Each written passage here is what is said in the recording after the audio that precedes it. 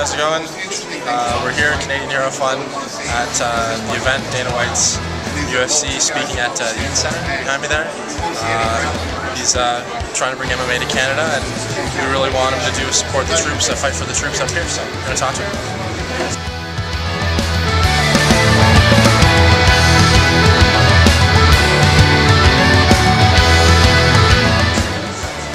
Dana White from the Ultimate Fighting Championship, and everybody knows how much I support the troops in the United States.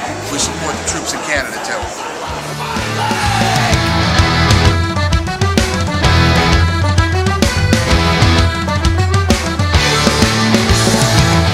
Hey, I'm Showdown Joe. Make sure you support our Canadian troops as well as their families.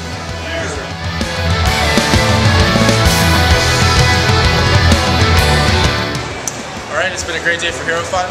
Came down to the Eaton Center, ended up getting to meet with Dana White, talked about some ideas for uh, an event for Canadian Hero Fund, possibly in Canada.